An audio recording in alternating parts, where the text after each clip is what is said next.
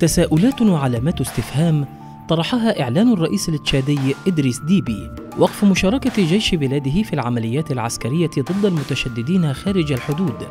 وإلى أي مدى سيؤثر هذا القرار على مستقبل المنطقة في ظل تمدد جماعة بوكو حرام الجهادية؟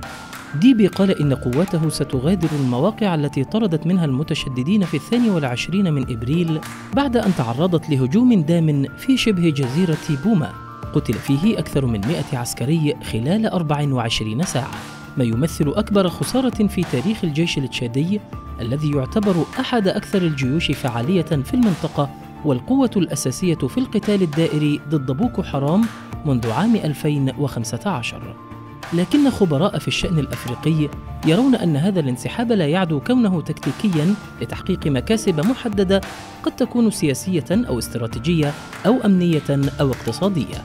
داعين الدول الأفريقية المعنية إلى البحث عن مصادر تمويل هذه الجماعات المتشددة حتى يسهل القضاء عليها. ويحذر الخبراء من خطر هذه الجماعة التي صنفت في عام 2014 بأنها أكثر الجماعات الإرهابية فتكا في العالم حيث قتلت في العام ذاته 6600 شخص واشتهرت بعنفها ضد الأطفال حيث قامت في عام 2014 بخطف 276 فتاة من أحد عنابر مدرسة في قرية تشيبوك شمال شرقي نيجيريا. وأدى التوسع الجغرافي لعملياتها إلى إعادة تنشيط فرقة العمل المشترك متعددة الجنسيات في يوليو عام 2015